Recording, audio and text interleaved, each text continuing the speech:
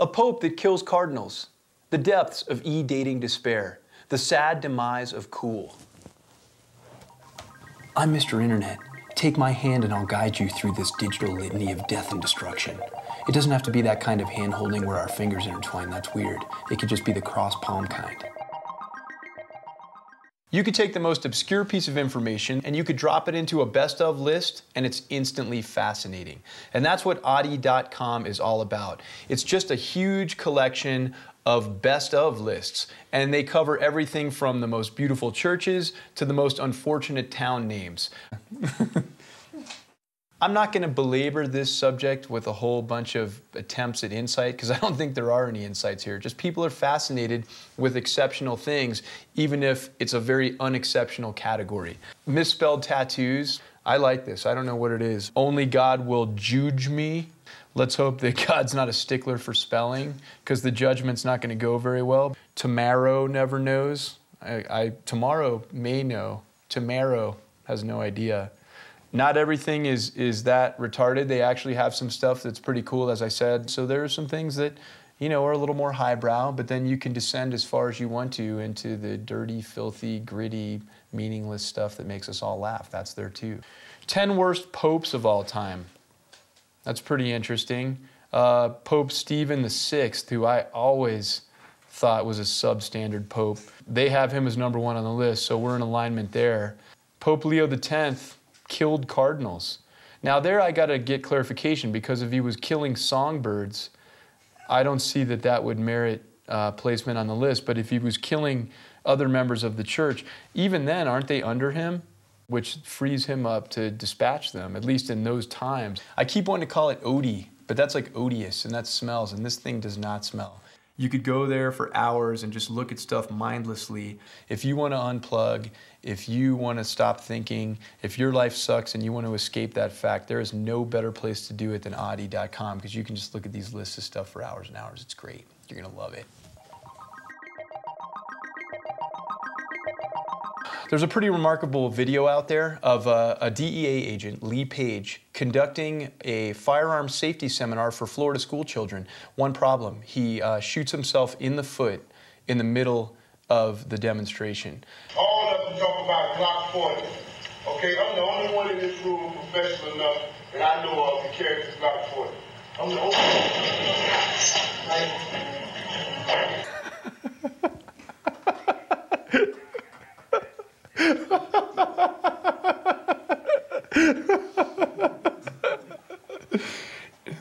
We are here with uh, Roger Briden. He's a firearms expert. Roger, I presume that you've seen this, this clip. I've seen it around the internet quite a bit. A lot of firearms instructors mm-hmm. know what that clip is.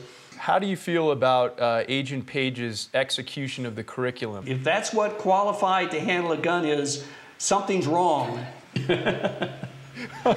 is there any part of you that that uh, that admired him at that point? I had to admire that he was really trying to recover.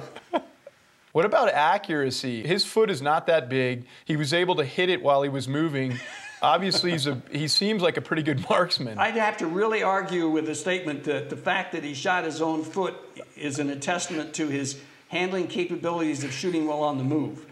Uh, I don't think that really qualifies. Um, he has claimed that he is he is one of the best, if not the best, DEA agent of all time. His words, not mine. Based on what you've seen, uh, do you feel like he may be one of the best people they've got? No.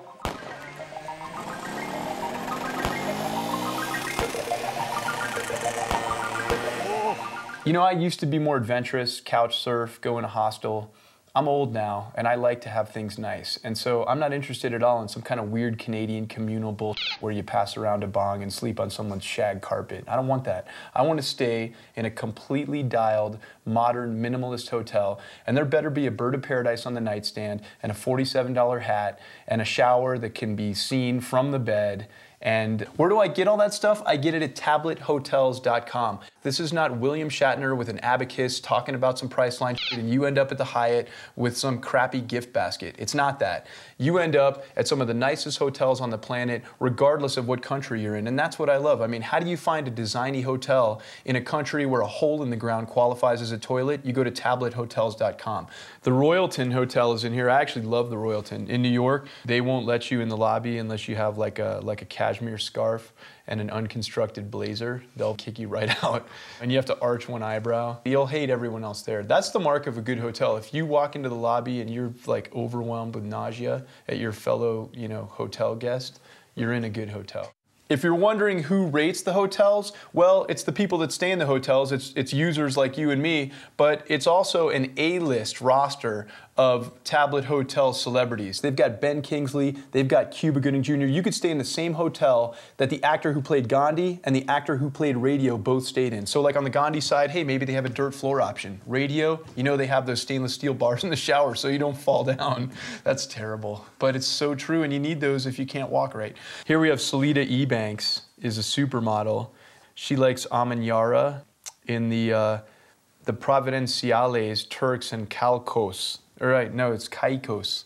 I don't even know how to say this place, man. If I could find a good hotel there, that's kind of says it all. So if you want to stay in a hotel where you will be pampered, you will pay too much, and room service will serve you macaroni and cheese made with truffle oil, go to tablethotels.com.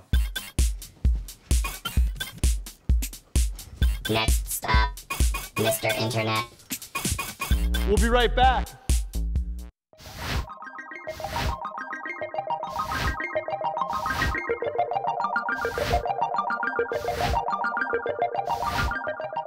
Here on the Mr. Internet Show, we're constantly looking for ways to keep it fresh. And we know that's not going to happen with the content. The content is going to be played out and stale, and it's going to be delivered in a way that will put you to sleep. So, what we're going to do is we're going to reskin our browser in the hopes that you'll find the show more interesting and tell your friends to watch. You can do this on your browser. Firefox is one of the more popular ones that you can reskin. So, we are going to go through a couple of different themes. Here's one cats. I think we know how I feel about cats. Let's try this, hot rod flames, kind of played out. What about barbed wire? You know, your browser can kind of have that weak ass Pam Anderson theme. I dated an exotic dancer that had these little porcelain fairies that hung off a fishing line in one corner of the bedroom. And this mythical siren summer night theme harkens back to those days, which were clouded by Pabst Blue Ribbon um, and a lot of other stuff that I don't care to get into. But I'm all better now you know what? I got to stop for a second because it's weird. Like everything's a badge these days. You know what kind of car you drive, what clothes you wear. You're trying to project something, and so the whole thing with reskinning your browser, it's like you're badging something, but who's looking other than you? So you're badging yourself to yourself. Um, and it turns out that I think I'm pretty good to go right now. So, but if I begin to find myself lacking, or the chemistry between me and me starts to deteriorate, I'll probably update to like a butterfly theme on my browser. But we've been doing great, and I said we were going to freshen things up. So, what about this? I can live with that. All right, there you have it. I've reskinned my browser, I've rebadged myself. Mission accomplished. It's readily apparent that the DNA of Current is from the internet. It was started by Al Gore and his business, his business partner Joel Gubashki, and uh, you know who sold falafel in New York. And then Gore teamed up with him. Was like, look at this guy. If he can put meat vertical, he can put the internet on TV. You, you know, because that's just not normally how it's done. So no, it's actually Al Gore and Joel Hyatt, not George Gubashki. So stop writing it down because I know you write down everything I say. A lot of TV networks have a website. And in almost every case, that website is just an afterthought. Current is a whole different deal. Everything comes from the internet and is then broadcast on TV. So it literally flips the model. Instead of being in these traditional half hour blocks, you have this endless stream of pods. And the pods could be three minutes, they could be 11 minutes. And a lot of the pods actually feature a progress bar, just like you would see at the bottom of a video that you were playing on the internet. So again, you have the language. I didn't I hate when people say again, but they didn't say it the first time. It implies that, well, first of all, it's confusing because you're like, well, I missed that part. So it makes you feel bad. It makes me feel bad because I realize how pretentious it is to even start something out with again. Again, I'd like to reiterate that this is an excellent sandwich. So you're confused, I'm sickened. I'm on the homepage of Current. The top stories cover everything from the use of ecstasy to uh, children's access to the internet. I've clicked one tab over to viewer uploads. Basically, it puts a filter on the site where you're seeing 100% viewer generated content. For instance, Helen Keller, actress, falls off stage. There's a video of that. She has her eyes closed and she's pretending, and she does go. They even have a user generated ad program where somebody out there can make a lifestyle ad for say Toyota and they'll give them 2500 bucks if it runs on current. If Toyota digs it and decides they're going to run it somewhere else, they could make as much as 60 grand. So this is a very cool environment to play in. Um, I do love the content. I do love the format. But after you watch Current for a while, you may sense some self importance, maybe some entitlement. You got these 24 year old VJs that probably think because they're socially conscious or politically active, they're going to get some tail. That was my take. So, uh, Current TV, check it out if you want to be up on the latest stuff or if you just want a big, huge helping of self important 24 year old.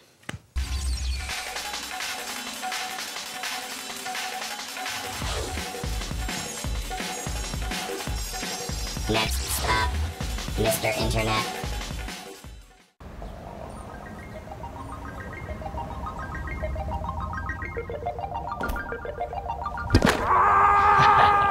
I'm to bring it down right now because I'm sickened. Okay? This isn't an act. I can't summon the requisite enthusiasm to be up for this segment because this segment is about cool hunting. You know, it used to be that if you saw somebody and they looked cool, you could just assume they were cool because it was them. They went to the trouble of hunting down all the clothes and accessories they had, and the CD they were listening to, and the bicycle they were riding, or the skateboard that they were carrying under their arm. Well, not anymore. Now it just means they have an internet connection. And they went to a blog site like thecoolhunter.net or coolhunting.com. You might find something that's cool on your own, but culture is going to catch up in 15 minutes. Cool has been whored out to the masses. Oh my God, a Lucite boombox. Cool. My iPod dock is shaped like a gramophone. Check me out. Asshead helmets are the new thing. Denim asshead helmet. It's a helmet that is ensconced in denim with a, a, smoked visor and a little ass pocket on the back of the head. And so I guess if you thought that it would be cool for your head to look like Jennifer Lopez's ass, then Cool Hunter has the recipe that you need. They took the croc aesthetic, which is already cool, and then they, they applied that croc shoe aesthetic to a, to a wedge for girls. It does not behoove us to be angry with the people that patronize sites like Cool Hunter, but it's the cool hunters themselves, the webmasters, the aggregators. You know what should happen to those people when Prometheus gave man fire and they like like nail gunned him to the side of a mountain and birds ate his liver every day. That should that should be what happens to cool hunters. But different, you know, like a modern updated version. That's gross. This is getting macabre. I don't want to talk about this anymore.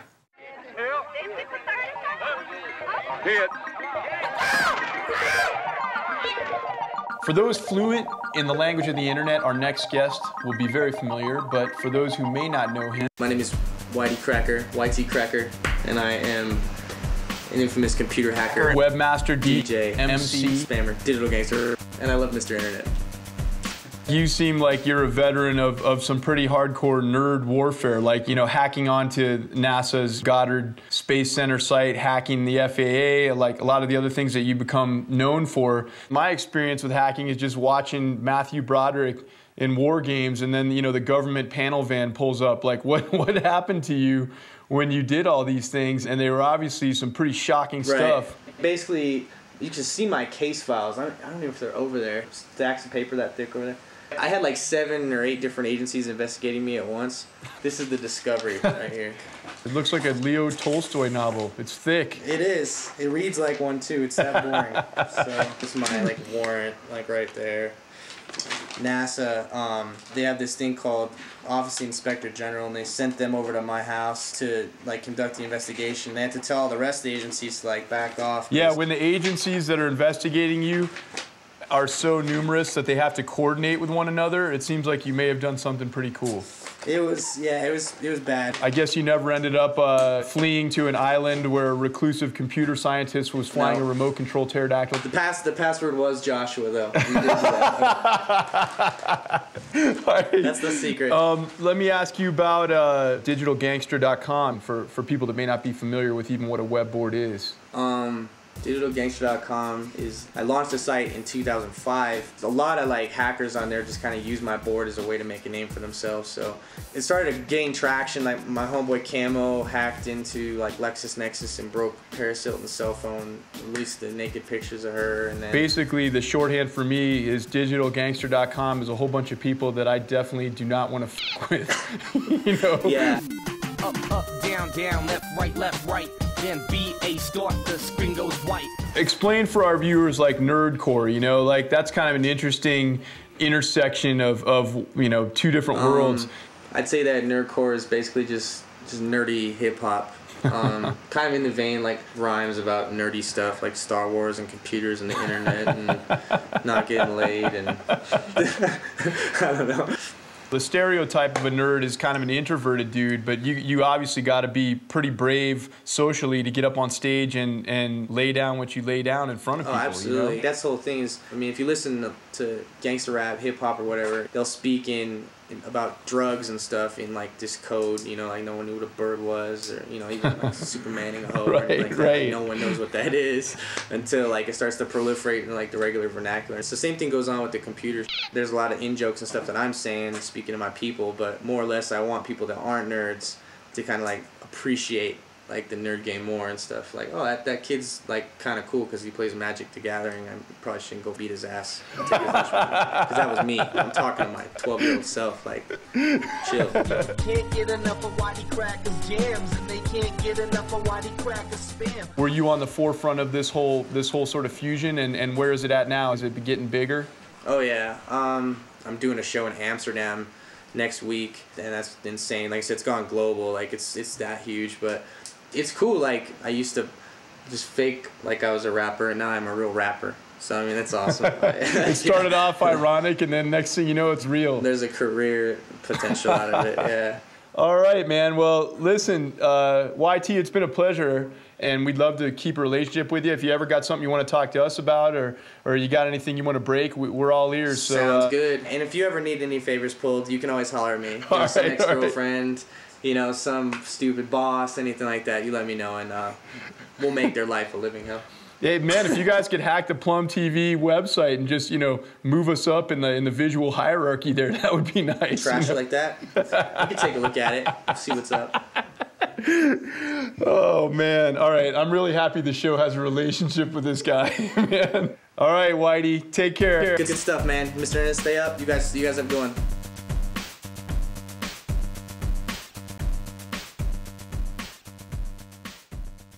There are lots of dating sites out there, Match.com, et cetera, et cetera. Then there's eHarmony.com, which I believe is the creepiest of all dating sites. Um, what really makes the site creepy is that after a cursory bunch of questions about your age and gender and your appearance, uh, they move right into what amounts to a psychological profile. You know, here are some of the questions like what is your current marital status? Interesting. I guess that's like e infidelity, which would be cool. I am satisfied with my level of emotional development. Um, I think that's a good desperation meter. Are you a neo Nazi? I mean, there's subtext to these questions. Physical appearance, are you a fat slob? How much do you smoke? How much do you drink? How important is the amount your partner drinks to you? Who's checking like not important at all? I like when my partner blacks out. You know what I mean? You can get harmonious with somebody that's unconscious. People who are controlling irritate me. And I'm wondering like who's like that's not a problem for me. See, this is where I really I think what they do on eHarmony is they identify vulnerabilities. They then plug in another person who's equipped to leverage those vulnerabilities, and then you just call it harmony. Um, you know, you, you take somebody that's codependent, you match him up with a controlling bitch, and you got a beautiful 30 year marriage. Taking the tour on eHarmony, it all starts with me. And I'm looking for compatible people. And by compatible, I mean other people that other people didn't like. And the first person is Megan. She's in a spaghetti strap uh, printed little deal. I'm not gonna lie, Megan looks pretty good. The smaller pictures at the bottom look more like real people, like Lewis and Michelle here, and Lewis has a bit of a Cro-Magnon brow, and he's clearly got a bad case of rosacea. That's, you know, I can buy that. I wanna come now, look, I don't look good, but I could meet somebody that does. You're not a shoo-in on eHarmony. Like Match.com, everybody can be on it.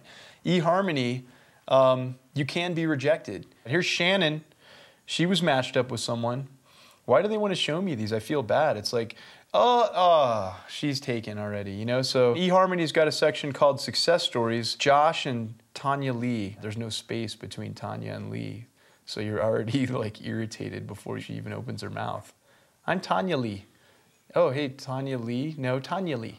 Then we met. and we just saw each other and instant connection. Snap. We just started making out. It, It was it's amazing. amazing. Everything we do together is fun. We were dancing at five in the morning with drywall dust all over So us spontaneous. and mud and splatter paint. So we're gonna hit it full force. They're gonna hit it full force. This makes me want to recede from the world and take up residence in a Unabomber shack. If you're on your last leg emotionally and you're cool admitting it, in fact, you want to build it right into a profile, then eHarmony is for you. Then eHarmony. I'm all of a sudden I'm from Ireland. I got a pint of eHarmony.